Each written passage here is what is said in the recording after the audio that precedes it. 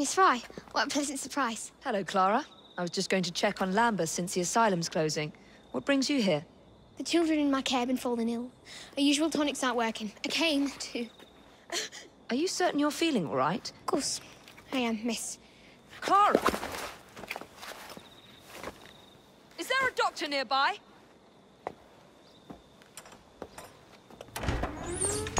Bring her inside.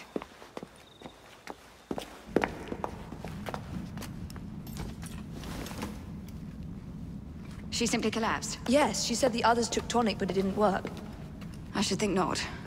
Ever since Elliotson was murdered, the district has been overrun with counterfeit tonics. This one needs proper care. But without the appropriate medication, she and the others will quickly decline. What do you need? I need supplies. Plenty of them. And medicine. Some of the less common ingredients are being stolen and sold at auction. I'd be happy to help. Here's the list. Miss? Fry. Evie Fry. I'm Miss Nightingale. How do you do? Please hurry. We don't have much time.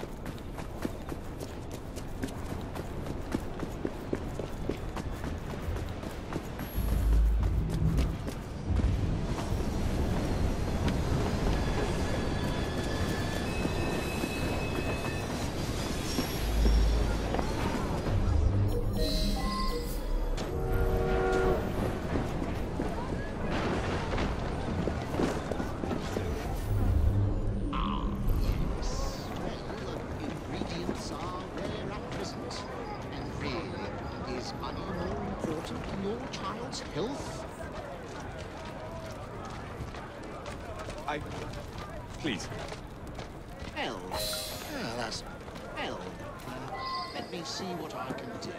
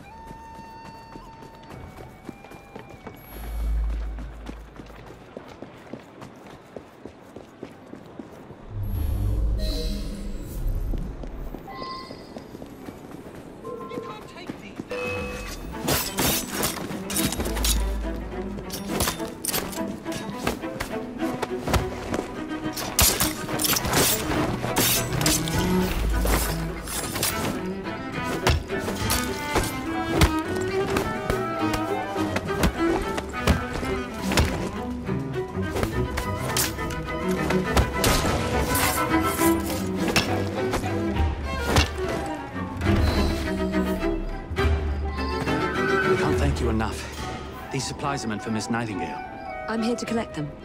and they're already loaded on the cart. Please take them. You mean that cart? Yes.